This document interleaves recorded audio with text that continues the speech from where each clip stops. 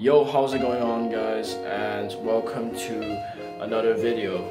As you can probably tell, it is currently my last day right now and uh, I've moved all my stuff this morning, got up pretty early and um, took out everything, try to clean as much as possible. There's still a few bits of um, tissues in the floor, very bits of tissues and stuff, but other than that, the, the whole room has been clean.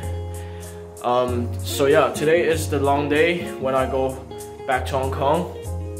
But yeah, other than that, as you can see from the mold over there, I've been trying to clean the mold, but it's just been continuously growing each time.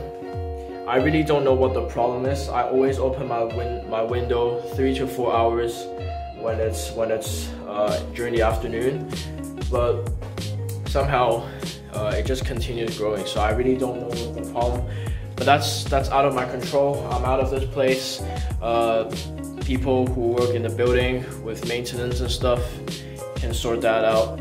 But yeah, um, this one is going to be a hopefully not too long of a vlog.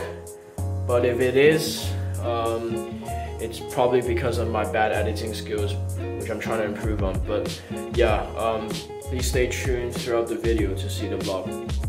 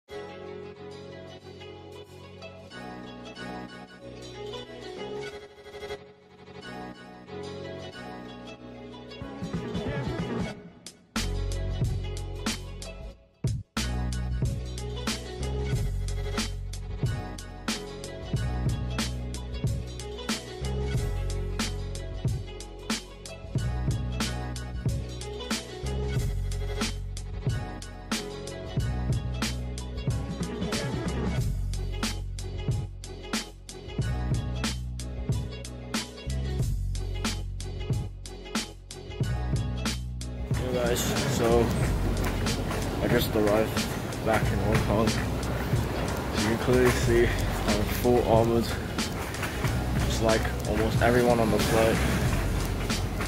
Most people didn't actually um, go to the bathroom at the end.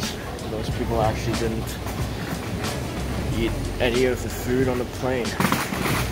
Most people just watch movies and pretty much try to sleep.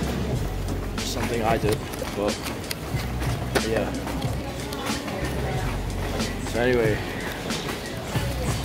back home, safe,